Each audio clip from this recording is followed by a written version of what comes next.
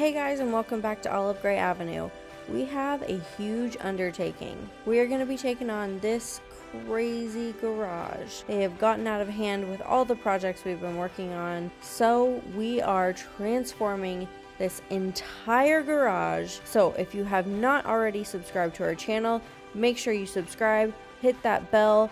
We release videos every Thursday. We're going to start with three easy ways to organize your garage. So we're starting on the organization for the garage.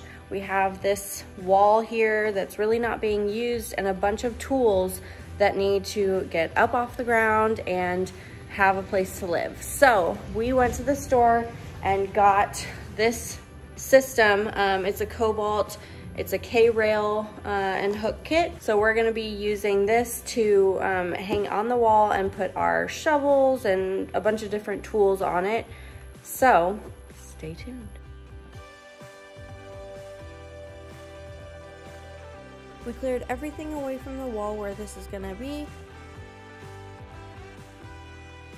And Steve started marking the studs.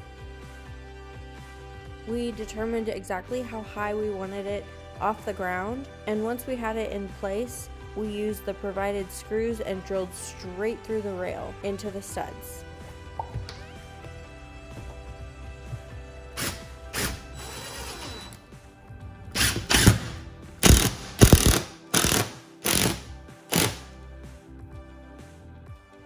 As that. One done.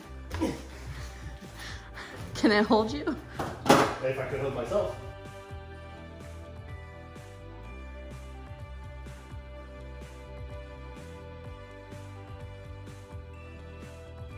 There are a bunch of different hooks and accessories that you can buy to go on this so you can hang exactly what you need to and switch things out.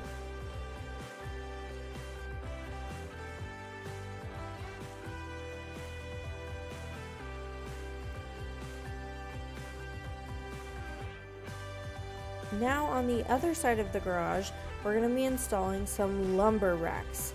All of our lumber is kind of all over the place and just leaning up against the wall, so this is a much better way to store your lumber so it doesn't get as warped and keeps it nice and off the ground.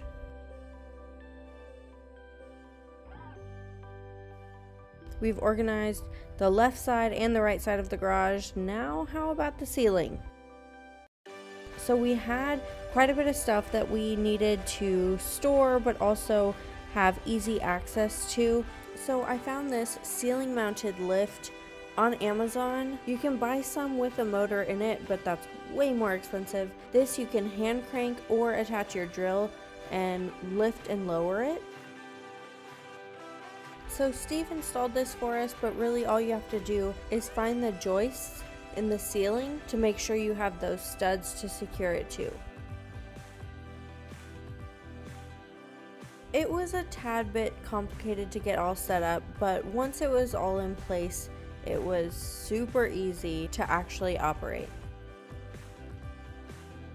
Getting all four cords to be the right length for the platform to be level was complicated, but once we figured it out, it was awesome. You can tell that the platform comes about four feet off the ground and goes within a couple feet of the ceiling. But how close it will get to the ground depends on the height of your ceiling because we have 12 foot ceilings.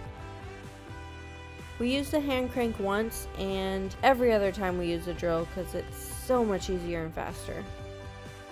Next week, we're going to start building a massive set of shelves. You don't want to miss out on what's to come for this garage, so make sure you're subscribed.